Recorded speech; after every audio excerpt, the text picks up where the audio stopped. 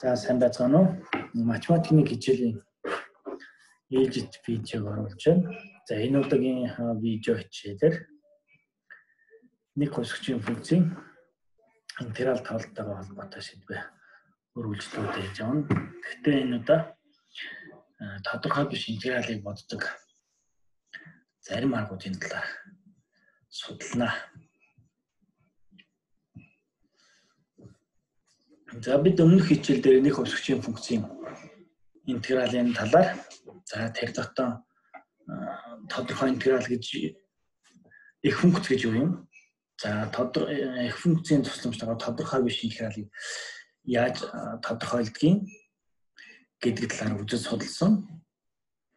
За энэ удаа бол нэг өсгчийн функцийг боддог функцийн интегралыг боддог зарим аргуудын талаар үзнэ. За үндсэндээ өнөөдрийн хичээлийн сэдв бол бид нар нэг хөвсгчийн функцийн э, тодорхой биш интегралыг боддог э, нэгэн арга болох уламжлалыг дифференциалын дор оруулах аргын талаар за орлуулах хийх аргын талаар за хэсэгчлэн интегралчлах аргын талаар үзэл судлах юм а.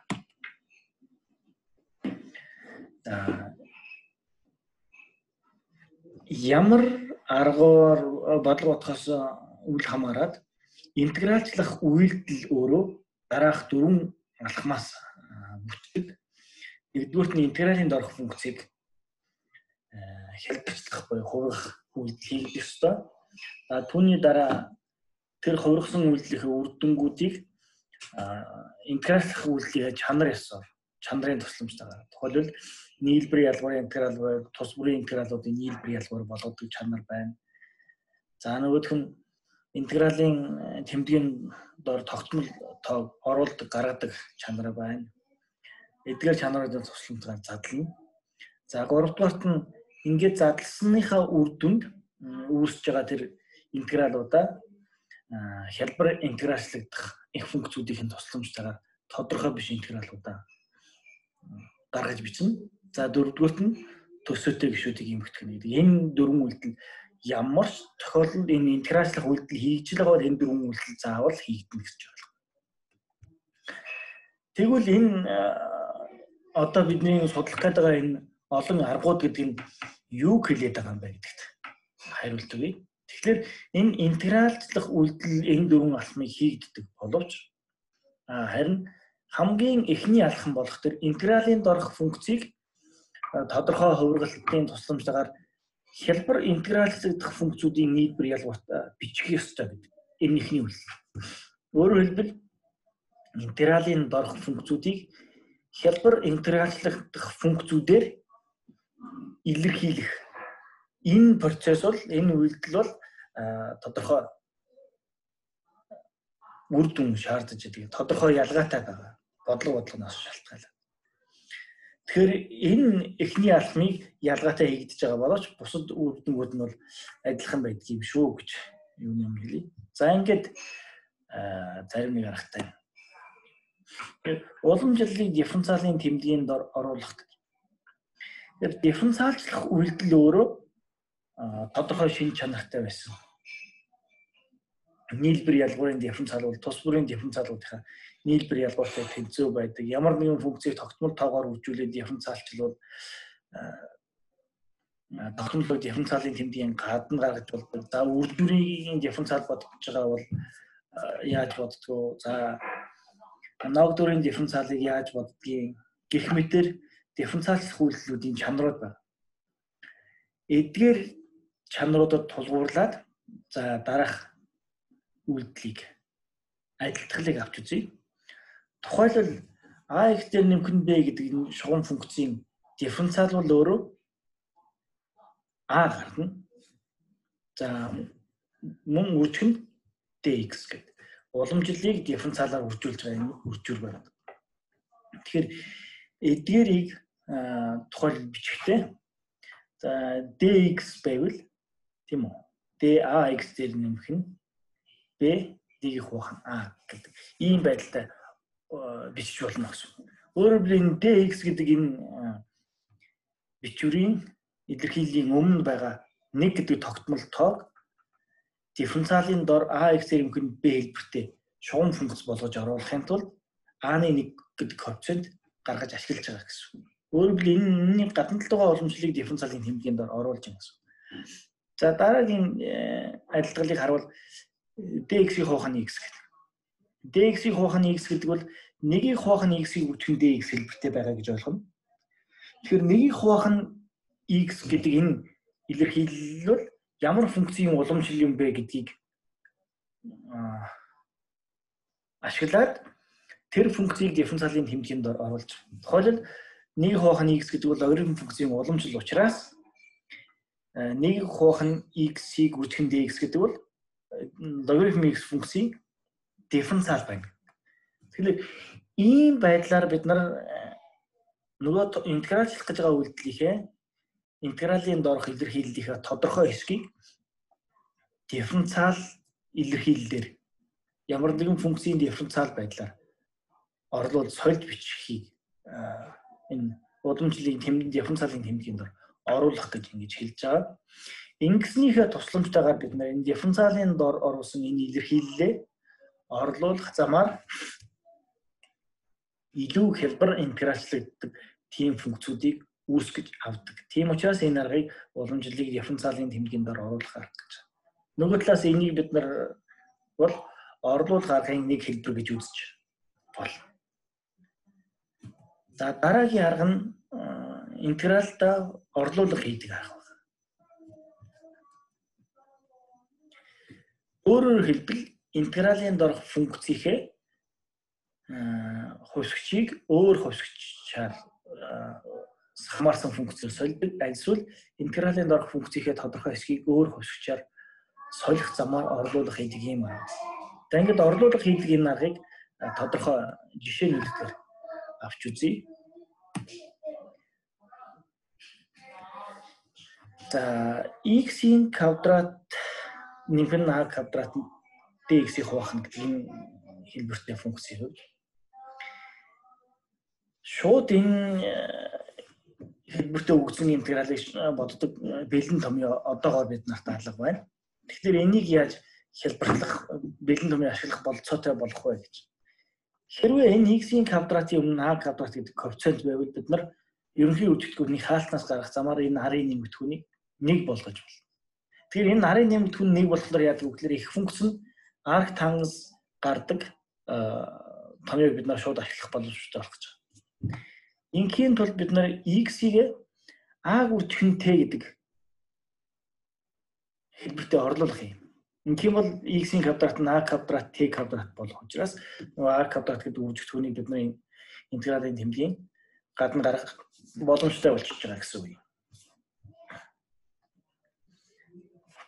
За ингээд гаргахлаар бид нар яг хөвлөр хошигчийг сольж байгаа бол нөгөө түүний дагаад дифференциаллах үйл буюу нөгөө солигдсон хошигчийн дифференциал бид нар заавал хийх болно. Тэгэхээр тэр дифференциалыг бодож олох хэрэгтэй. Тэгэхээр дифференциаллах үйлдэл хийгээд юм бол dx нь өөрөө a гүсгэн dt-тэй тэнцүү. Энд байгаа dx нь a гүсгэн dt. Одоо интеграл хэлбэрчлээ бичвэл энд хүртүүрт байгаа a бол интегралийн тэмдгийн гадна гарчна Хоёр дугаар А квадрат мөн ялгаа байхгүй интегралийн тэмдгийн гадна гаргахлаар нэгийг хуваах нь А болчихно. За интеграл dt нэг дээр нөхөн t квадрат ийм илэрхийлэл үүсэж байгаа юм. Одоо энэ үүссэн илэрхийлэл маань хялбар интеграчлагддаг буюу их функцийг нь бид нар хялбар болгох боломжтой энэ функц байна. Тухайн арктангс t байна гэсэн. Орлуулах арга хэрэглэхэд хувьцаг солигдож байгаа учраас солигдсон ховсгчтай үр дүнгийн шууд бодлогын үр дүн гэж авч болдог. Тийм учраас бид нар буцаагаад яхав орлуулгынхаа уруу байдлаар анх өгсөн X ховсгчаар хамаарсан байдлаар бодлогынхаа шийдийг дүрслэх ёстой. Тэгэхээр энэ орлуулгаас Т-гээ олох юм бол А хуваахны X байна. Энэ үр дүнгийнхээ Т-д А хуваахны X-ийн X-ийн хуваахнаа орлуулав. Дараах үр дүн гараад ингээд бодлого хэлбэрхэн байдлаар бодогдчихлоо гэсэн үг. За дараагийн жишээ. DX-ийн хуваах нь 5x-ийн хүн 3-ын 4 зэрэг. За энийг бид нар хуваарийг нь задлаад олон гишүүнт болгоод бидний хувьд ачаал үүдэлтэй биш. Яг тэгэхээр хуультай тийм олон нэмэгдэхүүнтэй түүнийг интегралчилдаг бэлэн том юм байх боо. Тэгэхээр бид нэр энэ 5x-ийн хүн 3-ыг тэгээд орлуулчвал энэ бол Т-ийн дөрөв зэрэгт болох хэрэгтэй байна. Ингээд ховсгчийг сольж байгаа бол бид нар дахиад энэ жав. Солигдсон ховсгчийнхаа дифференциалыг тооцох хэрэгтэй. 5x дэт. Хэрвээ энэ dx юм тал 5 байвал хүртүрэн dt болох нэ дээ. Тэгэхээр 5 байхын тулд бид нар 5-аар үржүүлж хуваах үйлдэлийг хийж болно гэсэн. За энэ үйлдэл хийгсэн гэж үзвэл бид нар 5dx нь dt болчих нь хуваарт нь t-ийн дөрөв зэгт болчихно. За үржүүлж хувааж өгсөн учраас хуваарт байх ёстой 5-ыг нь 5-ны 1 гэх биш. Одоо энэ үрдэн бол t-ийн хасах дөрөв зэгт буюу зэрэгт функцийг интегралчлах томьёо ашиглаад хялбархан интегралчлаг. Мэдээж интегралчлсан үрдүндээ буцаагаад t хөвсгчийн оронд 5x-ээр нэмэх нь 3-ыг орлуулах замаар анх интеграл ажиллах үйлдэл хийхдээс өмнөх функцийг тодорхой биш интегралыг одоо дараачлаа гэж ингэж ойлгох нь. За энийг гүйцээгээд бодоо. За дараагийн бодлого. Синус n зэрэгт x-ийг үржих нь косинус x dx гэдэг функцийг авч үзэж байна. За энд t тэнцүү синус x гэдэг орлогод хий За шинээр орлуулж байгаа хавшчихад дифференциалыг тоосвол cosine x dx. Энэ орлуулгын хувьд интегралийн дор байгаа функцийн маань илэрхийллийн маань тодорхой хэсэг нь дифференциал болж илэрхийлэгдэж байна. За үлдэж байгаа хэсэг нь орлуулгаараа илэрхийлэгдээ. Энэ бол ингээд зэрэгт функцийн интеграл бодох томьёог ашиглахаар хялбархан бодлого төвөрч байна гэсэн. Анзаарах нь бид нар дараах хэдэн зүйлийг анзаарах хэрэгтэй. Нэгдүгürt нь орлуулга бол хоёр төрлийн орлуулга энд хийгдэж анзаарч байна. Юу юм хэлэхээр интегралийн дорх функцийнхээ ховсгчийг өөр ховсгчаас хамаарсан функцээр илэрхийлж байгаа. Ховсгчийг өөр функцээр сольж байгаа. Аа сүүлийн хоёр жишээнд интегралийн дорх функцийн тодорхой хэсгийг хоёул 2 дугаар жишээн дээр 5x юм 3-ыг 3 дугаар жишээн дээр sinus x-ийг өөр ховсгчаар орлуулж байгаа. За ийм хоёр төрлийн орлуулга зарчмын хувьд хийгддэг. За орлуулга хийж байгаа тохиолдолд бид нар орлуулга хийж байгаа орлуулах ёстой холбоотойгоор тодорхой дифференциалчлах үйлдэл заавал хийх ёстой. За эдгээрийг ашиглаад интеграл орлуулга хийгээд илүү хялбар интеграчлахдах функц шилжүүлж ингэж боддог байна. За 3 4-р 2 3 дугаар жишээг дахиад хэлье. Энэ бол зэрэгт функцийг интегралчлах томьёог ашиглаад интегралчлагдах учраас би ингээд гүйцээж бодорой гэдэг ийм тайлбартай үлдээж байгаа шүү.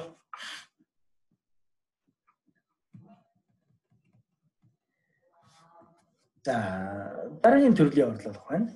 Ер нь энэ орлуулах арга ямар ямар тохиолдолд хэрэглэдэг гэдэг санаа явуулж хэрэг.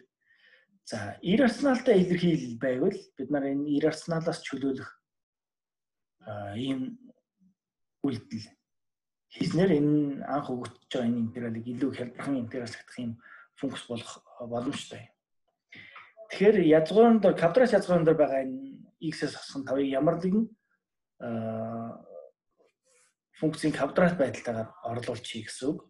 t квадратаар За бид нарт хаалтны гадна ядгуурын төвлийн гадна талд x хөвсгч дангаараа байгаа учраас бид нар x хөвсгчийг дангаар нь ялгаж авах хэрэгцээ шаардлага гарч байна. Тэр нь э, x тэнцүү t квадрат болж байна. За нөгөө талд нь бид нар x хөвсгчийн дифференциал байна. Түүнийг бас орлуулгаараа илэрхийлэгдэх ёстой. Дифференциалчлах үйлдэл хийх юм бол 2t э, dt болох нь. За эдгээрийг анх өгсөн интеграл давуулвал дараах үр дүн гарч байна. За энэ үр дүнгуудыг бид нар юу гэж харах вэ гэхээр одоо нөгөө задлах арга ашиглаад хаалт задлал гişүүслэн үрдүүлэх замаар за хоёр хялбар интеграчлагддаг функцийг нийлбэр болгож байна гэсэн. Тэгээд тус бүрийн интегралуудыг бодоод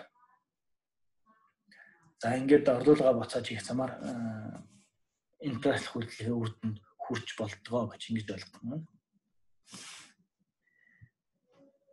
За дараад нь тригонометрийн хэлбэртэй функцүүдэд тодорхой орлуулга хийх юм шаардлага гардаг.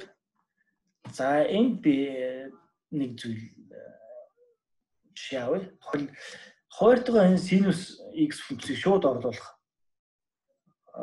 боломжгүй. Ямар хувиргалт хийх боломжтой вэ гэдэг тухай авч үзье. Тэгэхээр синус x функц бол хагас үнцгийн томьёогоор дараах байдалтай задардаг.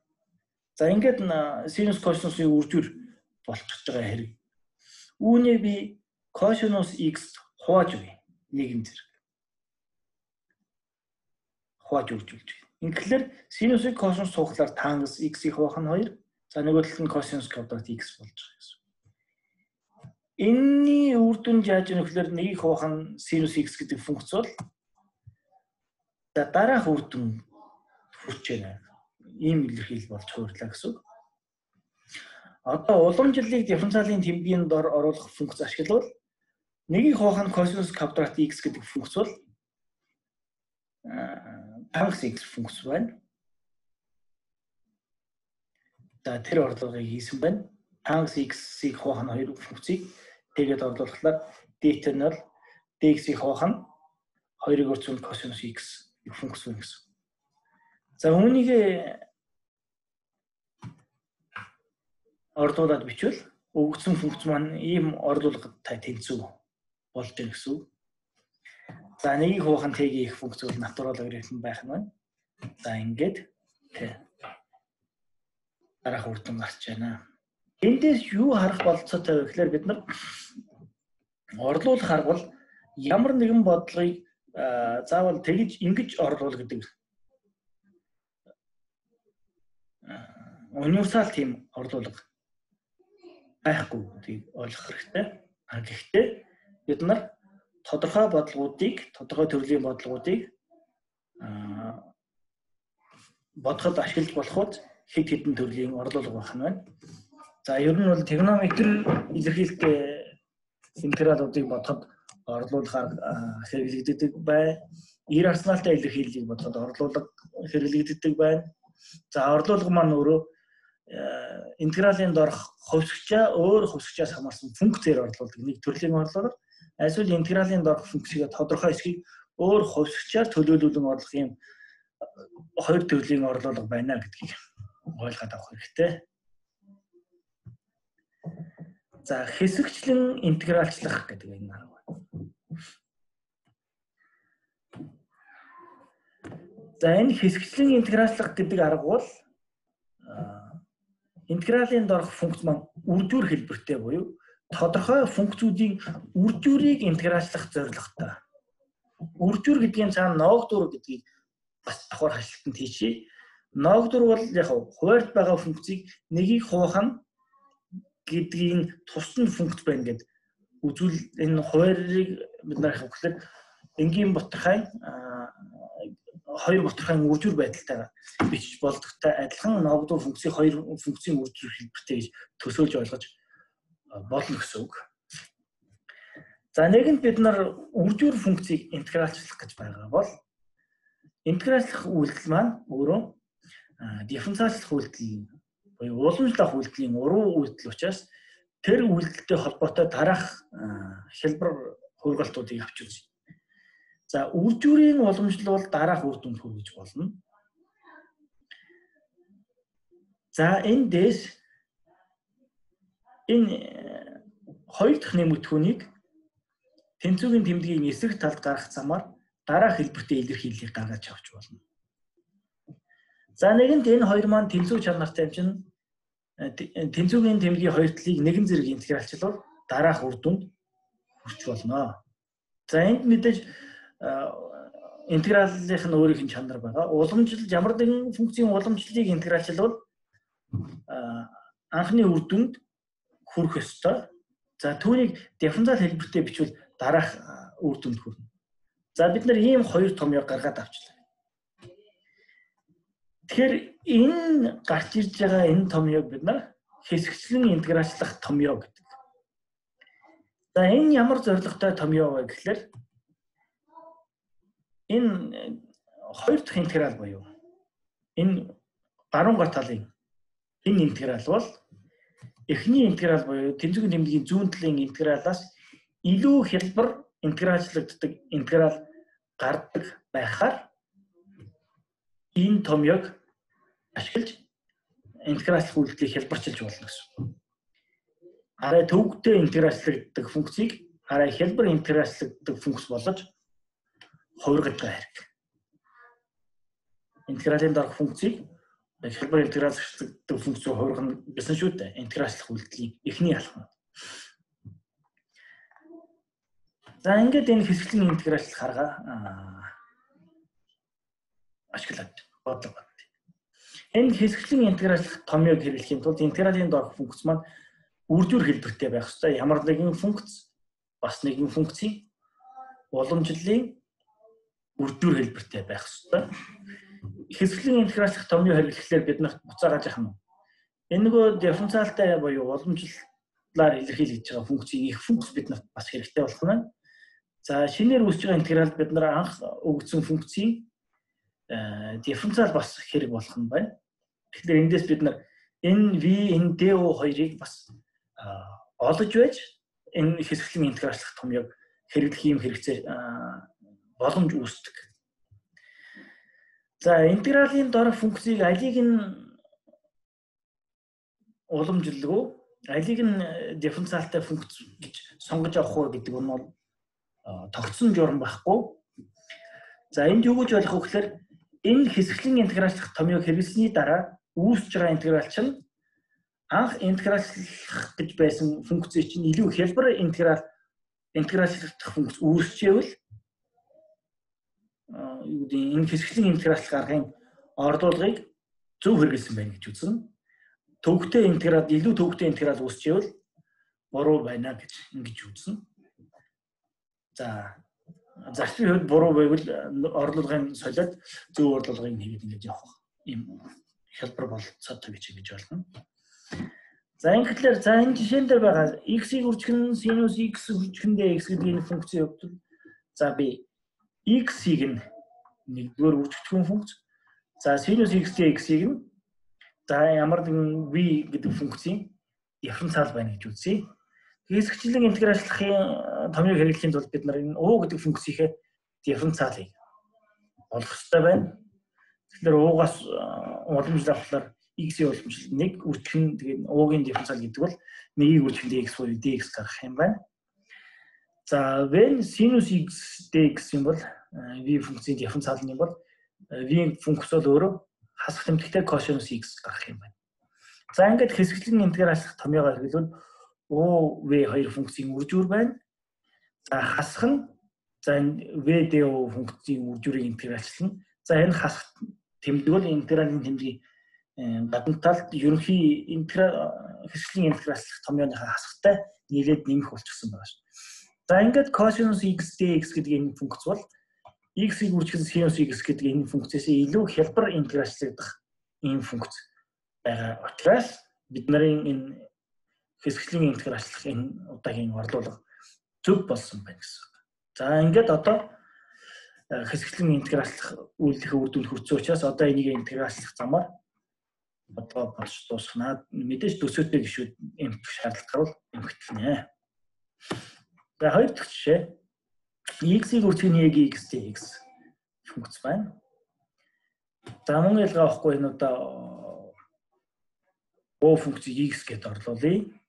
v функцийн дифференциалыг e-г x dx гэж орлуулъя. Бид нар o-гийн дифференциал хэрэгтэй dx болох нь байна. v-гийн их функц хэрэгтэй тэр нь e-г x болох нь байна. За ингээд хэсэглийн интеграц томьёогоо хэрэглүүл дараах үр дүнд хүрсэн байна.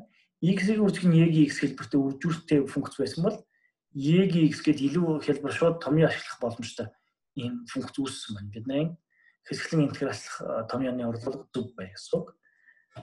За ингээд x-ийг үржих нь y-ийг хасах нь y-ийг нэмэх хэвцээ. За төсөөтэй гişүүдийг эмгэх дамар шийд эмгэтгүүл дараах үр дүнд хүрч байна. Ийм байдлаар хэсэгчлэн интеграчлах томьёог илүү хялбар байдлаар ашиглаж ашиглаж илүү хялбар байдлаар тодорхой биш интеграл бодож болох юм байна. За дараагийн жишээ. Natural logarithm x dx. Ингээд харахаар нэг бид нар чинь үржүүртэй функцийг интегралчлна гэж бодоод исэн чинь энд үржүүрт хэлбэртэй биш функц байгаа тийм. Гэсэн хэдий ч шууд нөгөө задлах арга тий орлуулах арга хэрэглэх тийм зохистой үрдэн хүрэхгүй харагдаад байна. Тэгэхээр энэ тохиолдолд бид нар яг хөглөр logarithm x-ийг о функц энэ арын dx-ийг нь v функц нь дифференциал байна гэж үдэлж орлуулах юм бол дараах үр дүнд хүрэх нь байна. За хэсгийн интегралчлах том ёсоор бид нар уугийн дифференциал за энэ v функцийн их функцийг олох ёстой. За үр дүн нь гарч чад. За үүнийг ашиглаад хэсгийн интегралчлах томьёогоо бичвэл энэ за жаахан хялбар хувь бол тэгвэл энэ Ингээд хэсэгчлэн интегралчлах томьёо хэрэглэхээс өмнөх үрдэн натурал өргөн функцийг интегралчлах болсон бол одоо бид нар нэг гэдэг тогтмол тог интегралчлах ийм хэлбэр үрдэн л хүрдлээ. За энийг хэлбэрчл интегралчлал дараах үрдэн гараад бид нар энэ хэсэгчлэн интегралчлах томьёог үр дүнтэй ашиглажлаа гэсэн үг. За дараах жишээг та нар энэ одоо миний энэ тайлбарлах арга танхс x гэдэг энэ функцийг ижил учраас хараад байгаарай. За танхс x dx функц мөн ялгаа байхгүй үржүүр хэлбэртэй биш юм шиг харагдаж байгаа. Тэгэхээр түрүүчийн логарифм функцтэй адилхан o функцийг арга танхс x за энэ dx-ийг нь v функцийн дифференциал байна гэж үзвэл бид нар уугаан dx-ийн хуваах нь 1 x-ийн квадрат за v-гээ x гэхэд очиж болно. За ингээд хэсэгчлэн интегралах томьёо хэрэглүүл энэ үр дүн гарах нь байна. За энэ сүүлийн гарсан үр дүн эхний энэ өгсөн интегралаас хялбар хөвөл хялбар. Яагаад хялбар руу гэхээр уламжлалыг дифференциалын тэмдгийн дор оруулах арга хэрэглүүл энэ хүртүрт байгаа энэ x dx улаанаар тодруулсан байгаа нь 1 дээр нь x квадрат функцийн дифференциалыг хуваах нь 2 гэсэн үг дифференциалыг тэмдгийн дор оруулсан. Энэ юм уу гэвэл дараах ордуулгыг үзье. Тухайн интеграл dt хуваахны язгуурын дээр гадна за интегралийн гадна 2-1 гэвэл энэ бол шууд язгуурын дээр t гэдэг функц болж хувирах нэ. За энэ бол зэрэгт функцийн интеграл боддог томьёоноос шууд гарчих зүйл. За тэгвэл энэ арын нэмэгдэх юм бол бүхнээрээ язгуурын дээр нэг дээр нэмэх x-ийн квадрат нэмэх c болж байгаа хэрэг. Тэгэхээр анх өгсөн функцээс илүү хялбар функц бол үүссэн байна гэдгийг эндээс харж болно. За дараагийн жишээ. x-ийн квадратыг нь косинус x гэдэг функцийг интеграцлах гэж байгаа. Энэ тохиолдолд x-ийн квадрат функцийг u за косинус x-ийг үржих нь dx функцийг v функцийн дифференциал байна гэж үзвэл за уугийн дифференциал v функцийн их функцийг олвол дараах үр дүнд хүрнэ. Энэ маань анх өгдсөн функц маань x-ийн квадратыг үржих нь sinus x хасах нь 2-ыг үржих нь x үржих sinus x гэдэг ийм функц гараад ирсэн. За энэ маань дахиад шууд интегралчлах боломжгүй функц байгаа. Гэхдээ бид нар энэ хоёр дахь хэсэг энэ функцийг бол хэсэглийн интегралчлах томьёогоор бодож болно гэдгийг хэсгийн интегралчлах томьёоны хамгийн эхний жишээнд үзсэн. Тэр нь хоёр дахь интеграл бол хэсэглийн интегралчлах үйлдлийн тусламжтайгаар ийм болж интегралчлагдана гэсэн. Энэ cosine x функц бол хялбар интегралчлагддаг функц учраас энэ анх өгсөн интегралийн маань үгтэн дараах байдалтай гарч байна. Эндээс бид нар юу гэж дүгнж болох вэ гэхээр энэ хэсэгчлэн интегралчлах аргыг бол дангаар нь хэрэглэхээс гадна э, уламжлалыг дифференциалын доор оруулах байдаг юм уу, ордуулах байдаг юм уу энэ бусах бусад аргатай хавсран хэрэгжилж болно. За зарим тохиолдолд бид нар энэ хэсэгчлэн интегралчлах аргыг хэд хэдэн удаа дараалан хэрэгжилж болно гэсэн үг. За ингээд энэ удаагийн э, хичээлээр бүгдээ нэг хөсгчийн функцийн интеграл тоолтой холбоотой. За тэр дундаа улам интегралыг боддог уламжлалыг дифференциалын дор оруулахаар за орлуулга хийх буюу хувьсгчийг солихоор хэсэгчлэн интеграл аргуудын талаар үзэж судлаа. За дараагийн хичээлээр уулзтал баяр та.